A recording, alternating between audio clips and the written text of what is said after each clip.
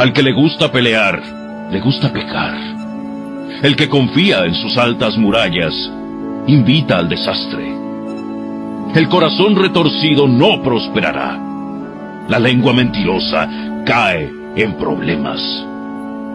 Los padres de un necio sufren. No hay alegría para el padre de un rebelde.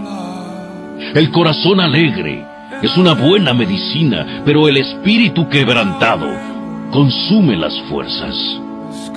Los perversos aceptan sobornos a escondidas para pervertir el curso de la justicia. Los sensatos mantienen sus ojos en la sabiduría, pero los ojos del necio vagan por los confines de la tierra.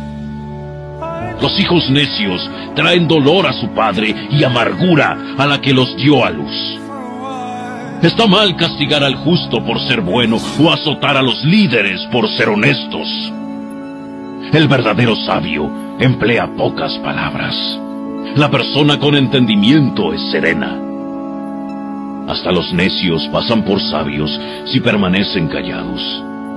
Parecen inteligentes cuando mantienen la boca cerrada. Al